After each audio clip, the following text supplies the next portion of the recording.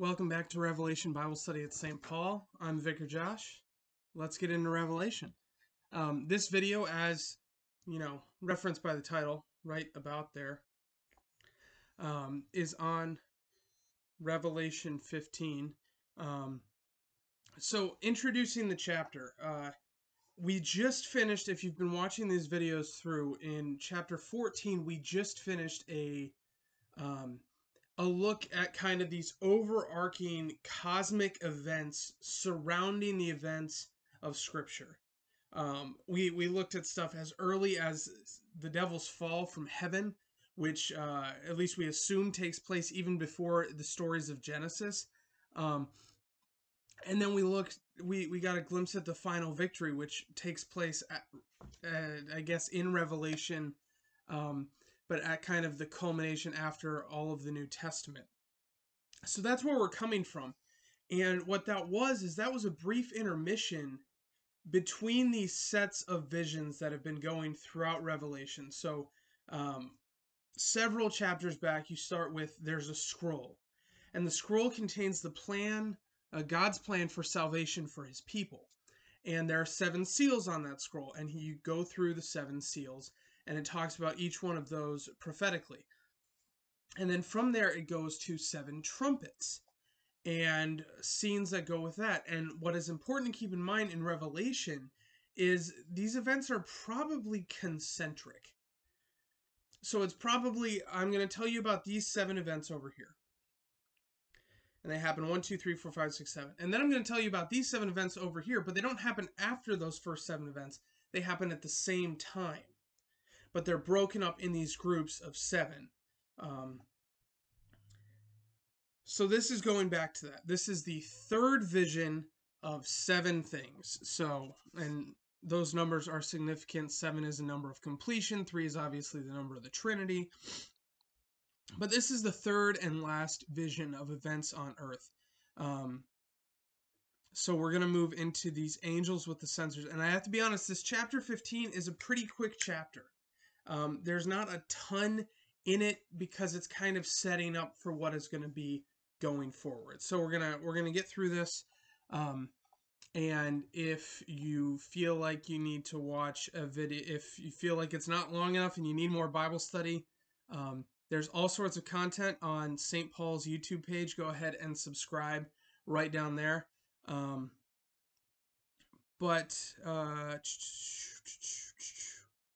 and you can always go back and watch the other Revelation videos. Uh, last Friday, we released one on Revelation 2 that clocked in, I believe, at 1 hour and 30 minutes. So, um, yeah. Anyway, we're going to move forward in Revelation 15 as promised by the title. So get your Bible out. It's a lot easier to follow along if you actually have it in front of you um, whether that be a physical Bible or your handy dandy cellular phone that has a handy dandy um, app. In case you don't have a Bible app, there there's an app called, and I don't know if you're going to be able to see it. No, the glare is too much. Um, it's called the YouVersion app, and it, it looks like this. It's it's really easy to use, really simple to to navigate. Um, and from like a program it, for those of you who don't know i was a computer science minor in undergrad.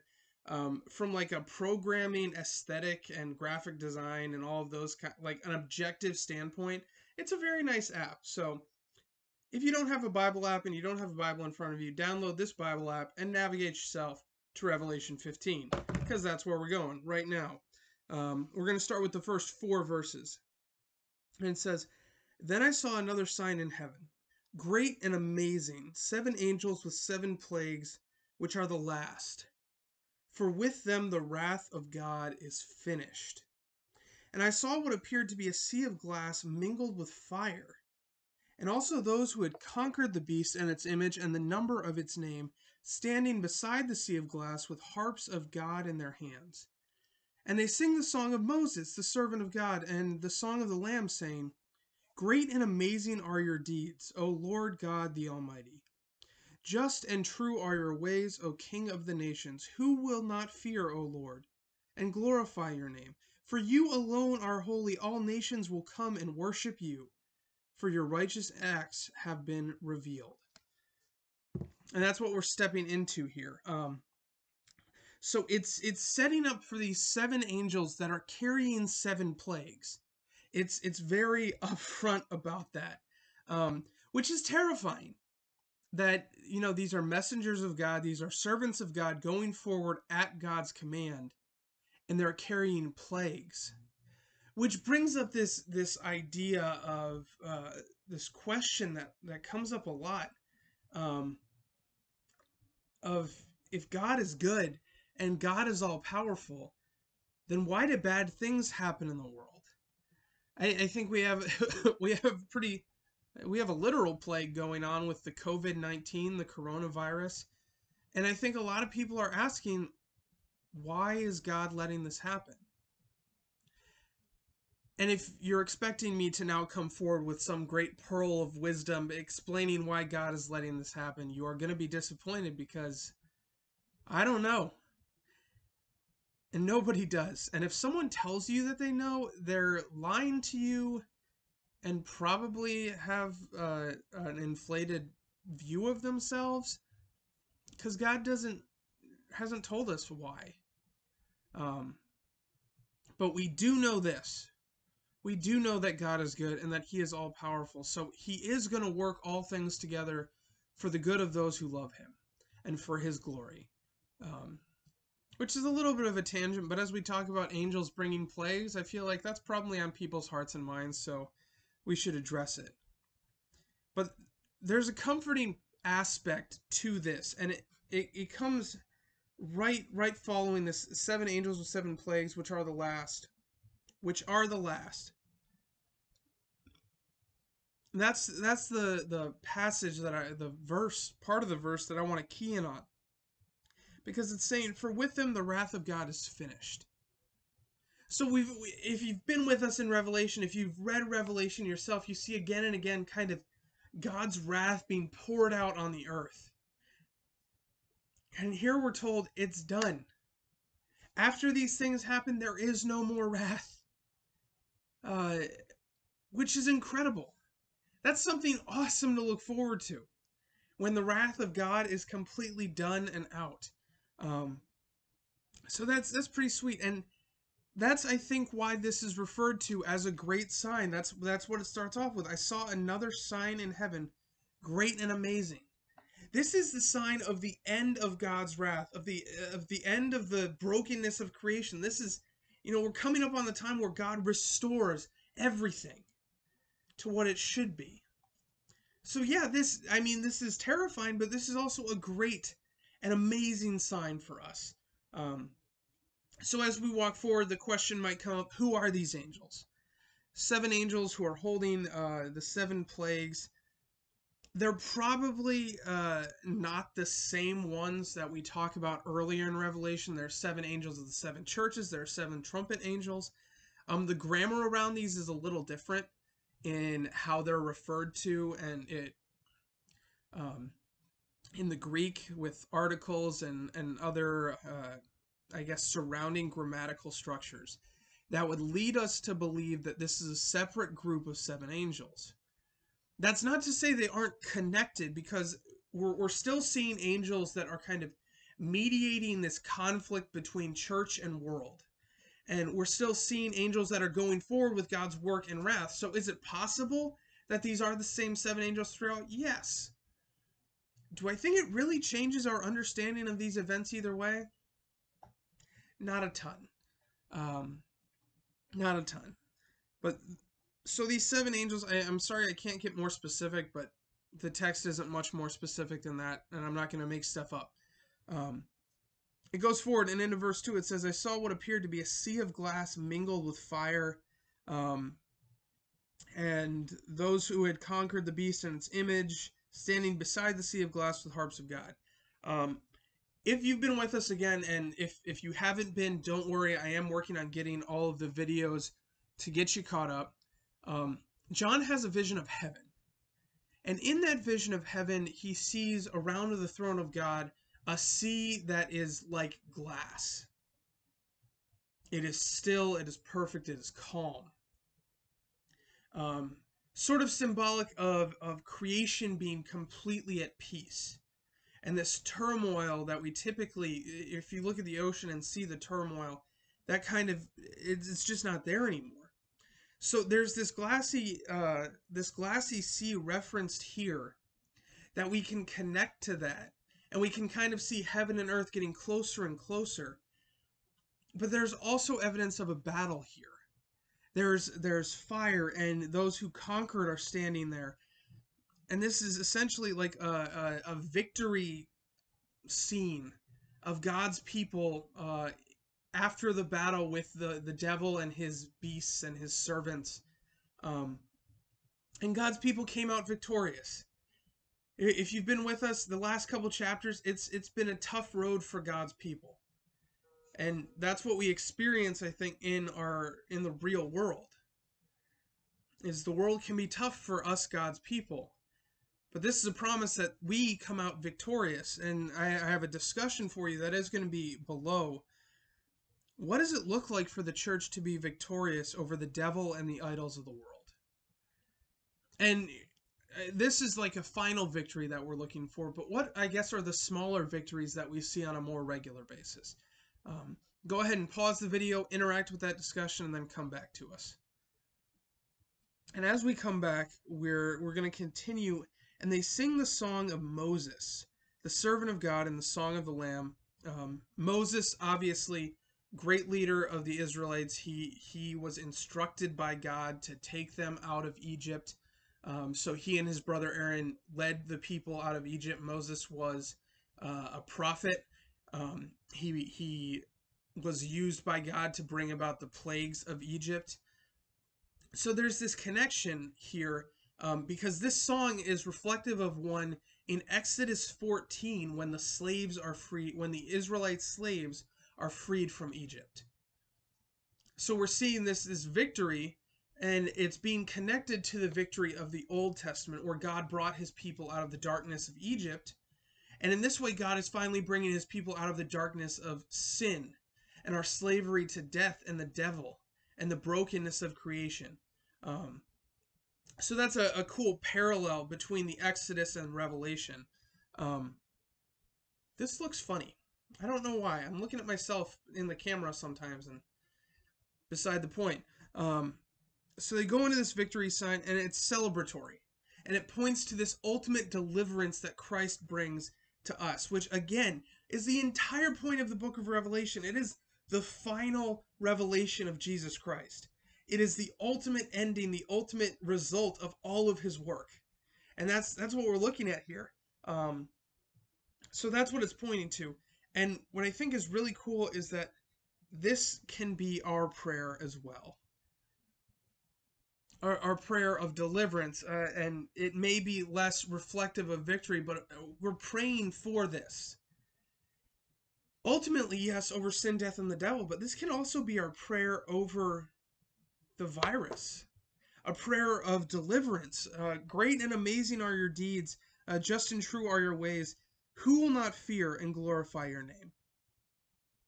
And I think this is a really good reminder for us right now in the midst of this that our God is a great deliverer. He is our deliverer. Um, so, continuing forward, it talks about uh, you alone are holy. And this is referring, of course, to God. All nations will come and worship you, for your righteous acts have been revealed.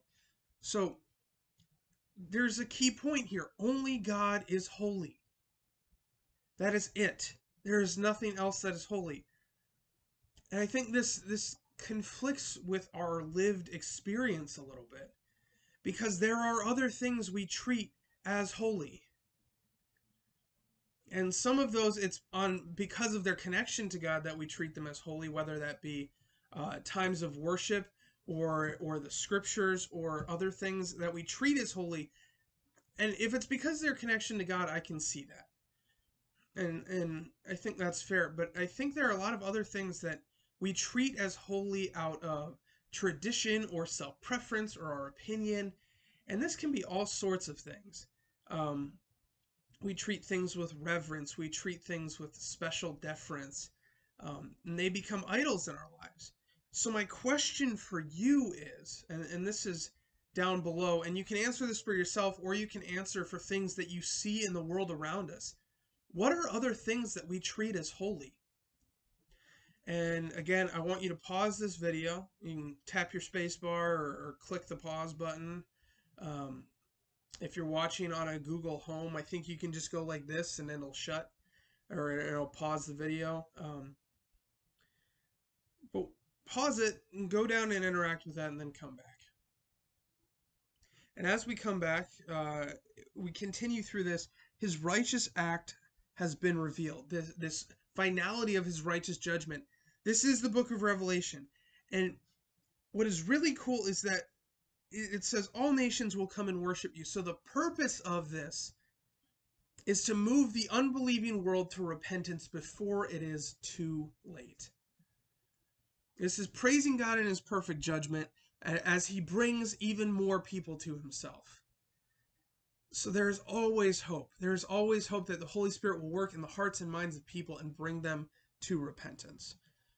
And that's the first four verses of this chapter, but we're, we're going to finish up here and look at the last four verses, verse verses 5 through 8.